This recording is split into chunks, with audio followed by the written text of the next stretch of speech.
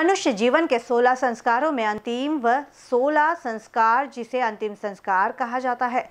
स्मशान भूमि में बड़े दुख के वातावरण में परिजन अपने प्रिय के पार्थिव पर अंतिम संस्कार कर उसे इस नश्वर जगत से मुक्ति दिलाते हैं। जीते जी, जो मिला, जैसा मिला, वैसा जीवन व्यतीत कर शांत एवं निसर्ग रम्य वातावरण में अंतिम संस्कार हो, ऐसी सभी की अंतिम इच्छा होती है। और इसी के लिए सरकार के भी अनेक योजनाओं के तहत स्मशान भूमि में दहन घाट तथा अन्य सुविधाएँ उपलब्ध करने हेतु लाखों रुपए भी खर्च करते हैं। लेकिन माल कमाओ के चक्कर में थूक, पॉलिश कर ठेकेदार और बिचौलिया तय मानकों को धाता बताकर कम लागत में ज़्यादा कमाई के चक्कर में ऐसा काम कर जाते हैं, जिसे स्थानिक प्रशासन, जनप्रतिनिधि तथा समाज सेवियों की किरकिरी होने लगती है। ऐसा ही वाक्य सावनेर नगर पालिका अंतर्गत आने वाले वार्ड क्रमांक तीन के गुजरखेड़ी स्मशान घाट में उजागर हो रहा है जिससे गुजरखेड़ी वासियों में तीव्र रोष उत्पन्न हो रहा है। सावनेर नगर पालिका हद स्थित गुजरखेड़ी का स्मशान घाट करीब दो वर्ष पहले लाखों रुपए खर्च बनाकर तैयार हुआ है, एवं वहाँ करीबी बस्तियों के पार्थियों पर अंतिम संस्कार होने लगे। जब इस स्मशान घाट का निर्माण कार्य प्रगति पथ पर था, तभी उक्त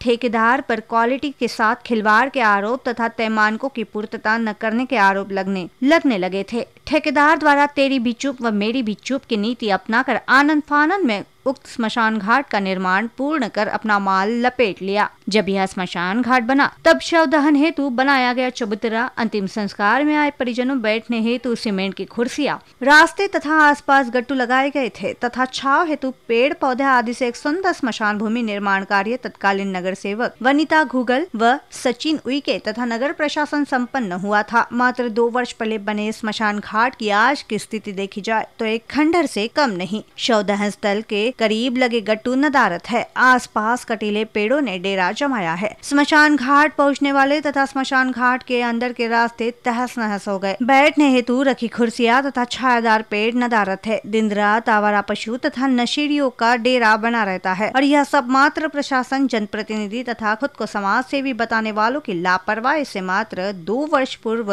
निर्माण स्मशान भूमि निर्माण की बदहाली देख नगर वासियों में जहाँ नाराज़गी के सुर भर रहे हैं, वही नगर पालिका सावनेर मुख्याधिकारी हर्षला राणे तथा नवनियुक्त प्रशासक तथा उप विभागीय अधिकारी अतुल मैत्रे इस सार्वजनिक गंभीर विषय को ध्यान देकर चाल चलाव काम कर प्रशासन की किरकिरी कराने वाले ठेकेदार पर मामला दर्ज कर जल्द से जल्द उक्त स्मशान घाट को पूर्ववत बनाकर जीवन की अंतिम विधि हेतु तो उचित स्मशान भूमि उपलब्ध कराने की मांग नगर वासियों द्वारा की जा रही है। बी न्यूज़ के लिए सावनेर से संवाददाता किशोर ढूंढेले की रिपोर्ट।